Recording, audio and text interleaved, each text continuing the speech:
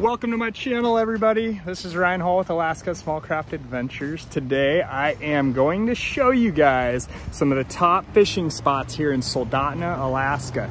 Right now, I'm standing above the Kenai River, as you can see down there, and I'm on a bridge on the Sterling Highway, and this is the main bridge that runs through Soldotna. And this place, this place probably has a thousand fish underneath of it at any given moment during this time of year. This this is the last day of June and the river's starting to fill up with sockeye salmon. And when they start filling up it'll be it'll just be fins all the way across this river you guys. But right now i am going to take you down to uh, a couple of the top fishing spots that are the most easily accessible to anybody who's just trying to come up here and do a little bit of fishing or they just want to do some sightseeing or just hang out on this river um, right here's the, the main highway coming from Anchorage.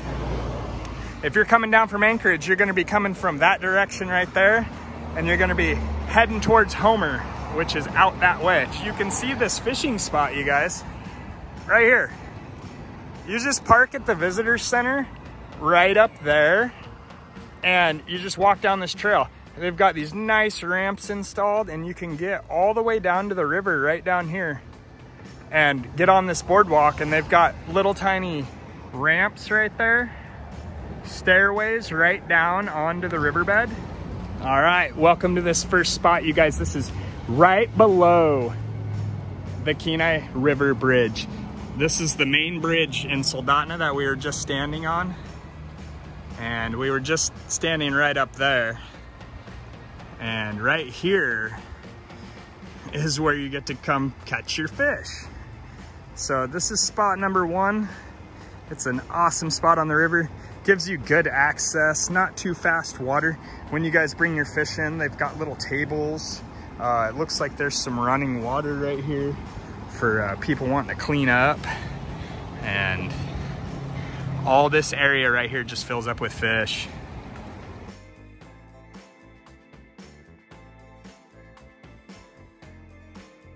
All right, we are at one of the top spots to fish right here for access to the river, you guys. This is Centennial Park and Campground. This is a city park and we did just start out right over here at the visitor center and we're taking the scenic route right now um, down back along the river like this and I'm showing you guys kind of these spots here but you can access this campground over here this is the main entrance for driving into this. And you guys would come all the way down to where the boat launch is at. And there's restrooms and you could park down here and go fishing all along this bank right here. Well, I'll tell you what, have you guys ever seen such a vacant camp spot? Look at this, the end of June and Centennial is basically vacant right now. Nobody's down here fishing. I wonder what that is. And maybe if we have an opportunity,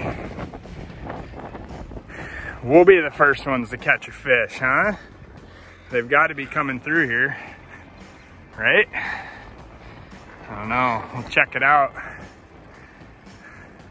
If you guys are towing a boat, and you want to put kayaks in or a raft in or something like that, you can come down to this little lagoon right here and put in right here on these. All right, out here at Rotary Park today. We're gonna check this spot out. Uh, basically nobody here. This is the last day of June. Nobody's nobody's out, nobody's fishing. Nobody's testing the spots out. We are. And uh, we'll see if we can get hooked up on something down here, you guys. You never know. Gotta get your line in. All right, headed down the trail to Rotary Park. This is the second park in my tour today.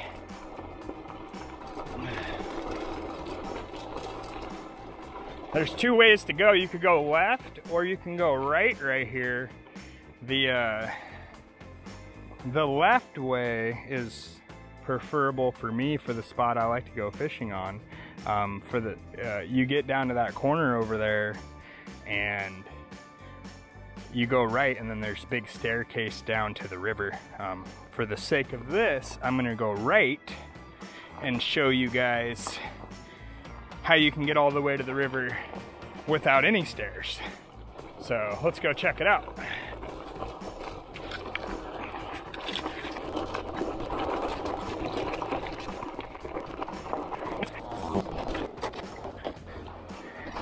All right, this is the first spot you get to when you come down to Rotary if you take a right at the T and uh, instead of going left. If you take a right, you'll come all the way down to these boardwalks down here. Gives you nice, easy access to the river. Um, I'll take us back up over to the other side where you actually have to go down a flight of stairs to get to the island. Uh, and it's a little bit more difficult to get to, but it does seem to pay off some days. Uh, the fish are there, they're not here. Some days they're here, they're not there.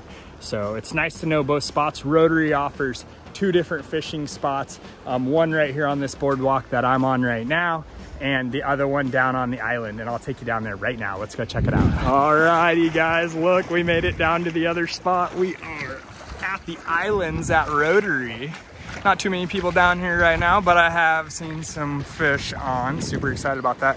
I'm gonna peek around this corner to see when you bust out here, the spot down here on the left is where the fish start.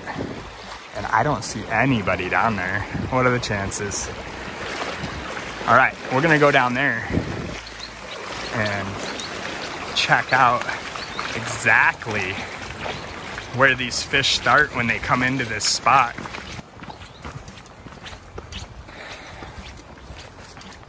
If you guys get down to Rotary, take a left at the T, go down the stairs, and once you hit the slough, the little slough of water um, at the bottom,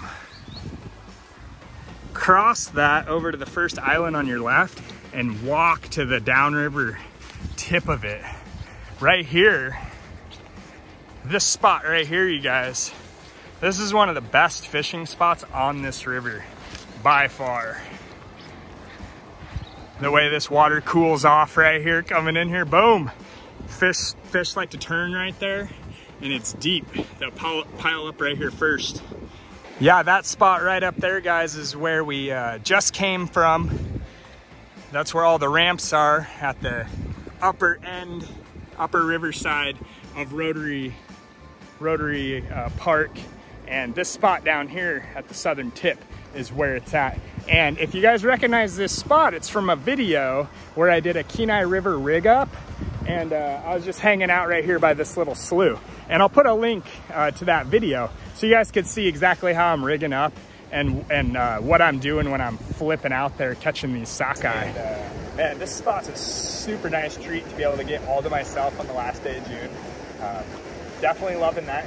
I am fishing with a split shot right below my swivel. I have a, about a four foot long leader line and then I'm rocking the egg sucking leech, you guys. This, this fly right here, pretty much anything in Alaska will take this fly. So I'm gonna whip that thing out there a couple times and see if there's something in the water that we can look at. Ah, let's do it.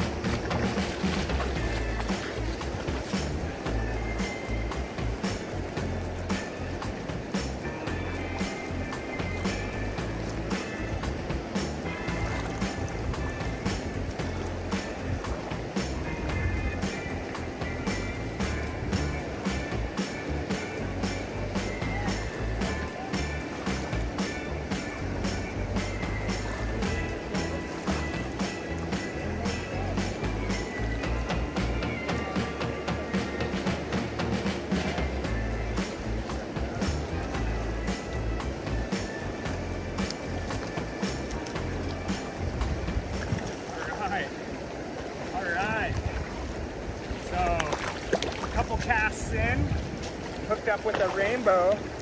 These guys, uh, these guys love these egg sucking leeches, seriously though. Take a look at this little guy. Trapper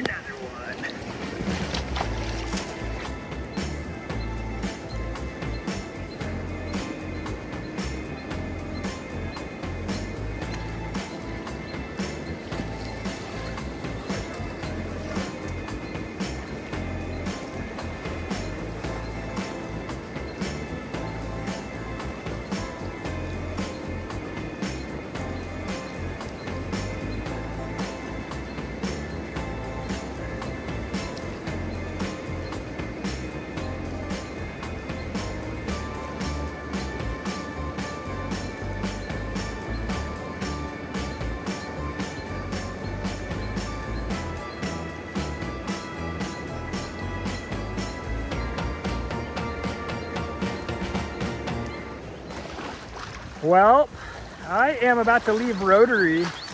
Uh, nobody else came down to fish, so it was just my hook in the water down here. I did hook into two sockeye. One was fatty, but it was in the motor, so he took off downriver. And I ended up with a rainbow trout. So um, the fishing was fair to decent, I'd say. Uh, I spent maybe an hour down here, um, but fish are on their way and you can bet we're gonna be here for them. I'm gonna take you over to that next park down there, all the way down there, guys, to uh, Swiftwater on the other side of the river and show you another spot that you can come down to and maybe get hooked up on a fish. Let's go. All right, we've made it to the third park on our travel today. We are at Swift Water Park, and this place is actually a campground too. So if you guys are trying to camp, spend some time out here, um, this is one of the top parks in town for sure. Uh, you guys want to launch boats, kayaks, anything like that, you can do that. Uh, you got guys out here just doing a little paddling around on their pontoons and check out the setting got an island out there. We can we can hike over to that and get some fishing done on that side, um, or head down these ramps. Uh, the boardwalks will take you all the way down onto the main river, and I'll show you guys what that looks like. Made it to our final and premier destination, Swiftwater Park. Uh, nobody fishing today. Nobody fishing. I don't know why. The trout fishing's outstanding right now. Um, the sockeye are coming in. I've hooked into my first Kenai sockeye this morning over at Rotary. And uh, man, this place is set. Look at that. Nobody, nobody down here enjoying it though. Check that place out. Oh, it's Melissa. Hey guys. How's Melissa doing? Good. All right. Out here enjoying the beautiful weather. Yeah, it sure is. Yeah. Sure is. It just got a whole lot prettier out here too. yeah, yeah. Not a problem. I'm just telling everyone about about this spot right here.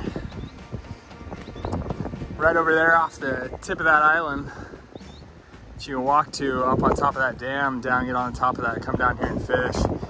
And uh, the water spins right here and the fish want to run right up the center of that and then around the outside of that right there. And uh, that is Swift Water. All right, looks like I found a map of this place, you guys. This is Swiftwater and Centennial. I showed you the Centennial map already, but here's Swiftwater. Um, this is where we came in. Fred Meyer in town is back over here. You come in down this road right here. Here's the guard shack from getting in here. And we came all the way down this, this road here to the boat launch. And right here are those rocks that I was hanging out on. And here's the island. You could walk you could walk over to this island right here and get on this thing and fish this side and this side right here and uh, fish off this right here. Down here's the lower landing that we were just down on. it gives you kind of an idea of the layout of this place and uh, what it actually has here. Um, all these are camp spots, so if you guys want to come grab one of those spots for July, I don't know if you can. It usually fills up pretty fast, but um, it's awesome here. I mean, look at look at these uh, these access points that this campground has. So I'm just I'm just parked right here, and you can you can just simply pop on down to these spots like this. How gorgeous is this?